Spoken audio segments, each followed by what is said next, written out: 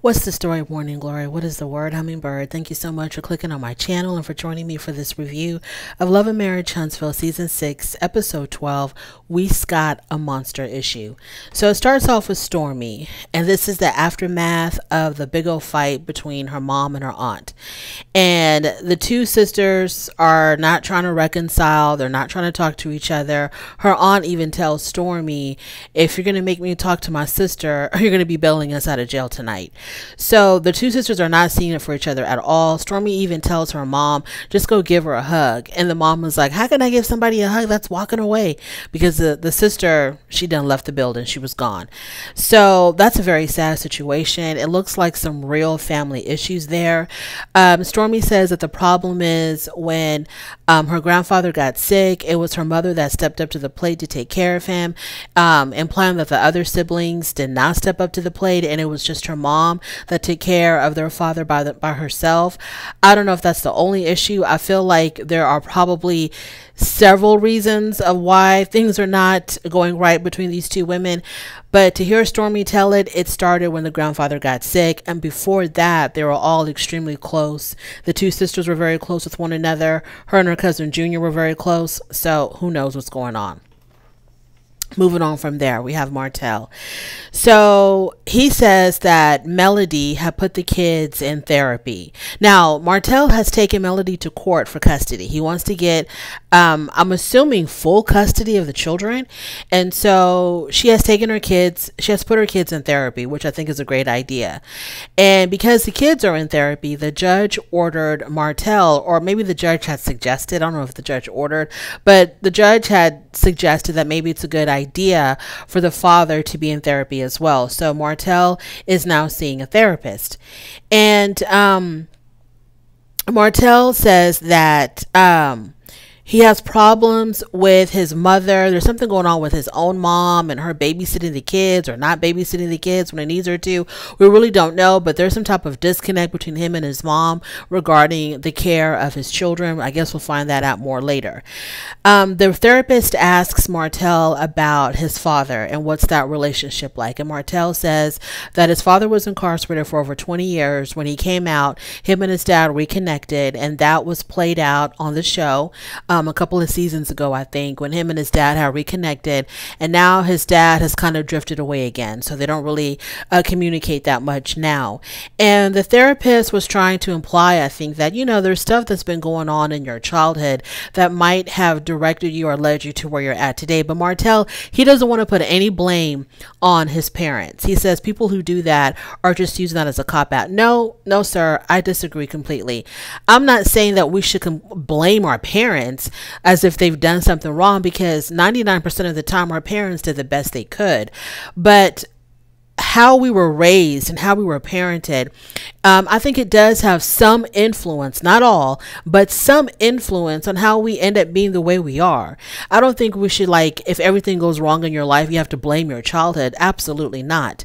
But I think that, you know, who we are has been shaped by how we were raised. And so, I don't think that he can like I mean your father wasn't there. Your mom did the best she could. Um, to hear Melody tell it uh, Martell's mom did not do all that she should have done with her children. But yeah, you need to like look at your childhood and look at your relationships with your parents as you were growing up, Martell, to kind of get a better of an understanding of who you are today. So Martell has a younger brother um, by the name of Montez, and we're going to be seeing him later. So, the therapist suggested to Martell to kind of revisit all of his uh, familial relationships, and um, I guess just to get a better understanding of who he is. Moving on from there, we have Kimmi and Maurice. Y'all, it used to be Marsau that used to get me so angry watching this show. Marsau used to aggravate the hell out of me, get my pressure up, get me so agitated, but now I think it's going to be Maurice. Maurice has taken over that role because the way he acted in this episode with Kimmi and Kiowa and Monster, I was like, Maurice, this is not a good look. Some things, you know, how you parent your child and all of that, maybe that should have been left off camera. So we have Kimmi and Maurice. So it is uh, date night with Marsau and uh, LaTisha, and they start talking about Monster. And so Kimmi feels like Maurice does not back her up enough when she tries to discipline Monster. Now, Kimmi doesn't have a problem disciplining Monster. She doesn't have a problem telling him what to do, what he needs to do, etc. What she has a problem with is when Monster does not listen to her. She doesn't feel comfortable taking that extra step of disciplinary action. And so she wants Maurice to back her up because if he hears it from his dad, he's probably more likely to listen. I'm not going to say that Monster doesn't have respect for Kimmi, but he probably knows that Kimmi is somewhat of a softie and that he can get away with Kimmi because Kimmi is not really going to lay down the law on him because Kimmi said this is not her child to parent like that. Yes, she's a bonus mom. Yes, she does love Monster like he's her own, but she can't really, you know, take that step in disciplining him when he's um, being disobedient. She feels like the biological parents have to do all of that. And I kind of agree with Kimmi. I can understand how she feels uncomfortable, like taking things away from him or, I don't know, giving him a whooping or something. I can understand how she might feel uncomfortable with that. But, um, Maurice does need to back her up. And Maurice has this theory that the reason why Kimmi is afraid to really, you know, go deep and, and discipline monsters because Kimmi's worried about Kiowa. And Kimmi has told him several times, I understand. I don't know why Maurice doesn't understand. She has told Maurice several times that it's not an issue with Kiowa, it's an issue with you. I just need you to reinforce, you know, when I'm trying to discipline your son. That's it. It's not like I'm afraid of Kiowa. I just need you to help me out. But anyways, here we are. So Kimmi feels like Maurice doesn't back her up when it comes to disciplining um, a monster. And LaTisha tells Kimmi that maybe she needs to communicate with Kiowa more. Why? Why? This is her home. Okay, this is her home. Why does she always have to pick up the phone and call Kiowa when she has a monster's whole other parent living there? Who is Maurice, who is the father, who was the one that wanted Monster to come live there to begin with. Why would she have to call Kiowa if Maurice is right there? Like, why does Maurice get to uh, uh, get away with not being a present parent? He was the one that wanted Monster in the home. Um, he tried and tried and tried, so he got his boy in his house. So why does he have to be okay? Monster's here now. Okay, Kimmi, you go ahead and you finish raising him. Why? Why does she have to call Kiowa? Call Maurice. Tell Maurice needs to step up as the father. Uh, anyways, moving on. So Maurice believes that Kiowa um, has moved forward. I don't know. I guess from how Maurice and Kimmi got together and the hurt and the pain of all of that. He claims that Kiowa has moved past that and now it's time for Kimmi to move past that. Now that's when I started getting pissed off at Maurice because to me, first of all, my personal opinion, which doesn't count for a hill of beans, but my personal opinion is I do believe that when Maurice and Kimmi began seeing each other, I don't think everything was resolved and over with Maurice and Kiowa. I think that there was, was some overlapping in relationships. And I think that Kiowa was definitely hurt.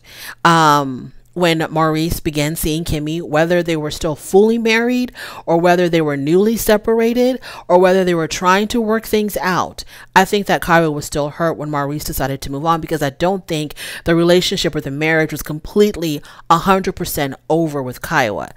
So he claims, and I'm assuming that's what he's talking about, you know, how they began seeing each other and all the emotions that were involved with all parties in the beginning of their relationship. I think that's what Maurice means when he says that has moved forward, but Kimmi has not. Like, how dare you say that about your wife? Whether she has moved forward or not, I don't think it's your place to say. And if she tells you she has, all you can do is give her the benefit of the doubt. Don't try to contradict her and put her business out there like that and trying to say, oh, she has a move. Like, why would you say, why would you praise your ex-wife and moving forward and then kind of criticize your current wife for not moving forward, even though she's been telling you she has moved forward? So I thought he was a real jerk for saying that. Moving on to Martell.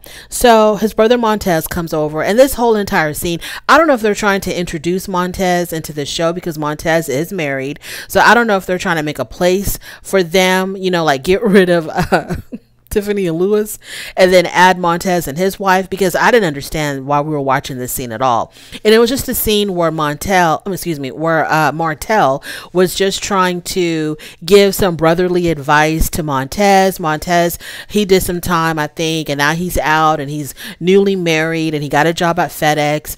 But I guess he wants to go into entrepreneurship, and so Martell suggests that he attend the Black Expo that's being hosted by uh, LaTisha and Marsau to get some pointers on starting your own business, etc.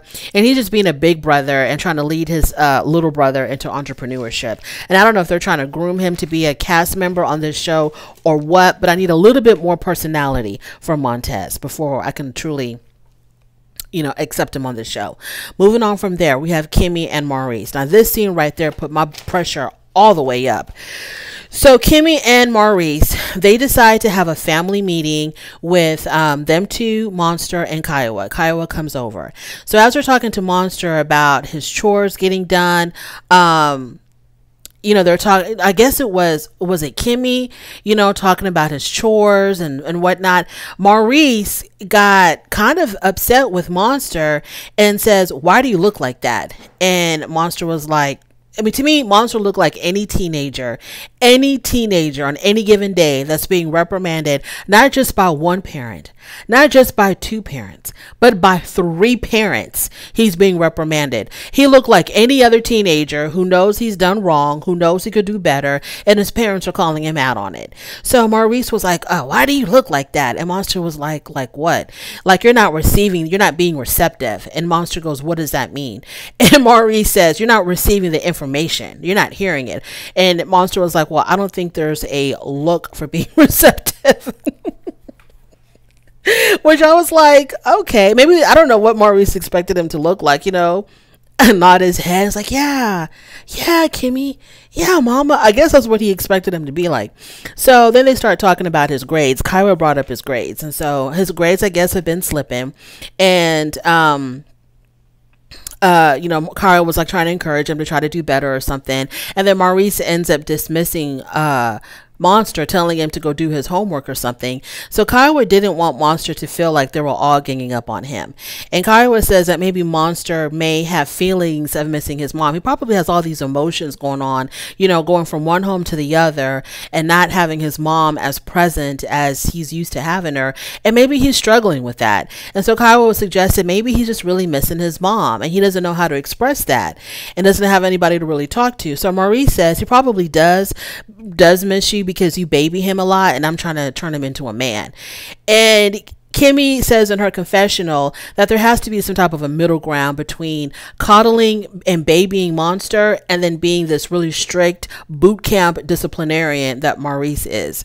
So there's got to be like a middle ground. Now, I don't know. Maurice probably thinks that Monster you know, kids of today, they're not like the children of yesteryears, where, you know, you could be, you could use that really strict disciplinary tactics on them. Kids today are very emotional and they're very, very sensitive. Okay. That's the kind of society that this is. These are the kind of children that we're raising. And it's not necessarily 100% the parents' fault, it's society as well. There's, because, you know, children's psychologists and teachers and people who are expertise in childhood development, you know, they come with this new age stuff about children. Um, you know, their feelings have to be validated and don't make children feel bad. And, you know, everybody's a winner. Even if your team loses, everybody gets a trophy. So this is like the kind of environment that these kids are being raised in. I don't think Maurice really understands this. So he thinks that you can raise a 2023 or 2022 kid like a 1982 kid and I don't think you really can. So uh, Maurice thinks that, you know, Kiowa coddles him and babies him, and Kiowa thinks that he's too strict, and Kimmi's like, you know, they should kind of meet in the middle somewhere. So Kimmi suggests to Maurice to spend more time with Monster, and I'm like, girl, you hit it on the damn head with that, because I think what Maurice is expecting is he wanted his son to come live with him for whatever reason, and but he's not really present. And we've seen that time and time again. He's not really present because he's busy with his own, his work, his businesses, his law practice, whatever. And so it's Kimmi and Monster together all the time. And to Monster, Kimmi, as sweet as she is, is not a replacement for his mother. And he's probably not understanding, like, why am I here? Why does my dad want me here, but he doesn't spend any time with me when I could be happy with my mom? So Kimmi suggests that Maurice needs to spend more time with Monster. And Monster and Maurice says, says something about, oh, but I do, because, you know, on the way to school we talk, and on the way back home from school we talk. And Kimmi was like, I'm not talking about when you pick him up and drop him off from school. I'm talking about real time with the boy like spending hours and hours and hours with him. Kimmi suggests more of an emotional bond between Monster. Oh yeah, so she's expecting like Maurice to bond more with his son instead of just barking orders, reprimanding him, fussing at him all the time, you know, try to develop like an emotional bond, an emotional, an emotional tie with your son. And I don't think Maurice knows how to do that with Monster. I don't think when he wanted his son to come live with him, I don't know if this is what he like really expected. And because it's not what he expected, I think Maurice kind of just kind of bailed out and was like, okay, Kimmi, you take care of this. You know, this isn't what I thought it was going to be with this boy. You go ahead and you take care of this. That's just my personal opinion. But let's move on from there. Now we have Stormi and Courtney. So Stormi and Courtney, I think they're on their way to dinner or something. And, you know, Stormi's talking about how she's always tried to be the peacemaker in her family, you know, how she's always wanted everybody to get along. And so I'm beginning to really question exactly when did the mom and the sister get along? Because if Stormi has been struggling for so long to get her mom and her her mom and her aunt to get along and to get the family together, exactly when did they fall apart? Apart because I thought when she said that my mom and my aunt they began falling apart when my grandfather got sick. Well, when was that? 20 years ago or was it like just a few years ago? I assumed it was just a few years ago when they started falling apart. But the way Stormi talks about how I've always wanted my family to get along. I've always wanted a big family because she's an only child. So she's always had this vision or this fantasy of her family, you know, getting along as one happy unit. So when exactly the father did the grandfather get sick? Like it must have been like 20 25 years ago or something. Like i don't understand what's going on. And courtney understands how she's feeling that she does want to have this family unity um, that she's been striving to get this for a long time now and just hasn't been very successful at it because her mom and her sister just don't see eye to eye. Moving on from there we have kimmi and maurice again. So kimmi suggests that therapy might be needed for maurice and Monster and Kiowa, which I thought was a very good idea to have a third party, um, a third party to be, you know, to kind of, you know, help them along instead of them who are already in it trying to solve their own problems. So Maurice says, yes, we all should go to therapy, you know, including you, Kimmi. And Kimmi's like, well, maybe it would benefit Monster more if it was him, his mom, and his dad. And if I'm needed, of course I'll, I'll show up. But I think initially it should just be y'all. And so, um, Maurice um, suggests that Kimmi and Kiowa should all should get together and work out the past why? See, this is making me think that there's something going on behind the scenes that they're not letting the audience know because this isn't making any sense to me.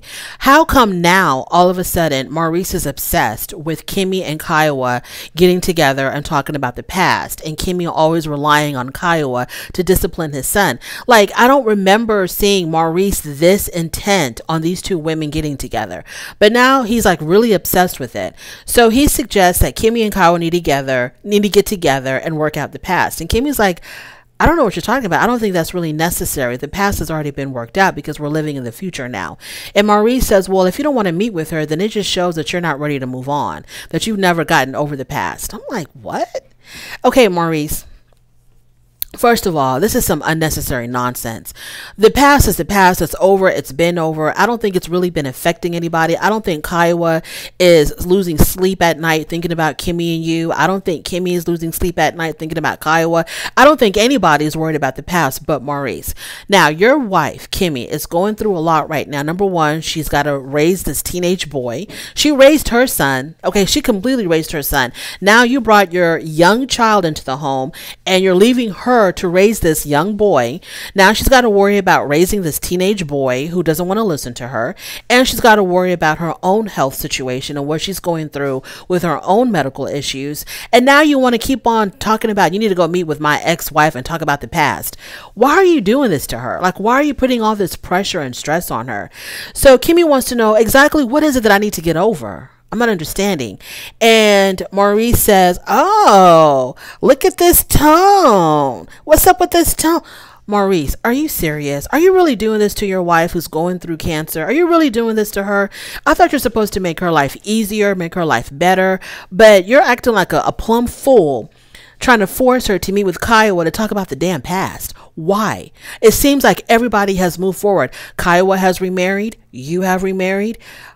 What is the problem? Kiowa came over into your home to talk about Monster with no issues with Kimmi. They greeted each other. They talk with one another. Like, I'm not understanding why he's trying to, like, cause something, make, cause a problem when there isn't one. Anyways, I have no idea. I was completely lost with that. We'll have to wait and see what happens next week. Thank you so much for joining me. I really do appreciate it on your way out. Please don't forget to rate the video if you like this content, subscribe to my channel, and I'll definitely talk to you later. Bye.